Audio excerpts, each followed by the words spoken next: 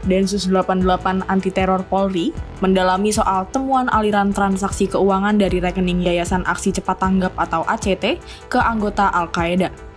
Sebelumnya, temuan itu diungkap oleh Pusat Pelaporan dan Analisis Transaksi Keuangan atau PPATK. Dalam hal ini, PPATK menduga hal itu merupakan indikasi tindak pidana pendanaan terorisme, sehingga temuan tersebut disampaikan kepada Densus 88.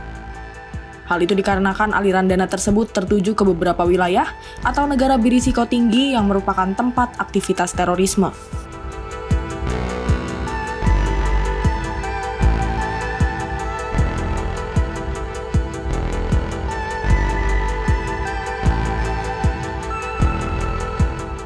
Aswin menegaskan, data yang dikirim oleh PPATK masih bersifat penyampaian informasi kepada stakeholder terkait sehingga masih memerlukan verifikasi lebih lanjut.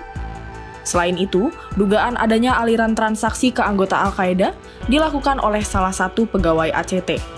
Saat ini, temuan ini disampaikan ke Densus 88 dan Badan Nasional Penanggulangan Terorisme untuk ditindaklanjuti lebih lanjut.